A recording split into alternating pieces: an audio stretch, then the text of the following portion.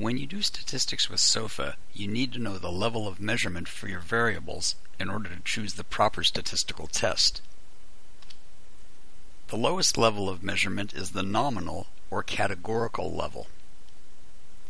For example, if you want to find out someone's favorite color of t-shirt, you ask them to choose a category, yellow, green, or blue.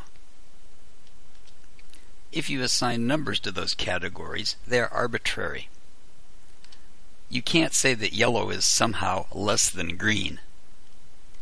And you certainly can't do any meaningful arithmetic with the numbers. So, at the categorical level, the numbers are just labels. The next level of data is, is the ordinal level. You have ordinal data when you only know the rank order of the values. For example, let's say you know the order in which three people finished a race. The only thing you can say for sure is that the person in first place did better than the person in second place, who did better than the person in third place. You can't do meaningful arithmetic with the numbers. Third place isn't equal to first plus second. Here's another example of ordinal data. Let's say two people rate a movie on a scale of 1 to 10. You can put them in rank order. You know the person who rated the movie a 10 likes the movie more than the person who rated it a 3.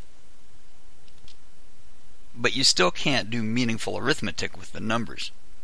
The person who rated the movie a 10 doesn't have 7 units of liking more than the other person. For ordinal data, all you can determine is the order who likes it more and who likes it less. The next level of measurement is interval data. Consider two people with different heights. Not only can you tell their rank order, the 176 centimeter person is taller than the 170 centimeter person, the difference or interval between the numbers is meaningful. You can do meaningful arithmetic with the values for height. 176 centimeters equals 170 centimeters plus the 6 centimeter difference or interval.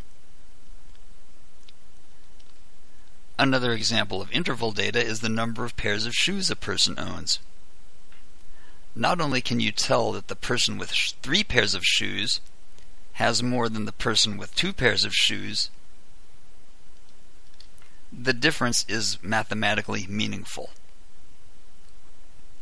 So, to sum up the levels of measurement, in the nominal level, numbers are just labels for categories. At the ordinal level, the numbers tell you only the rank order. And at the interval level, the interval or difference between values is mathematically meaningful.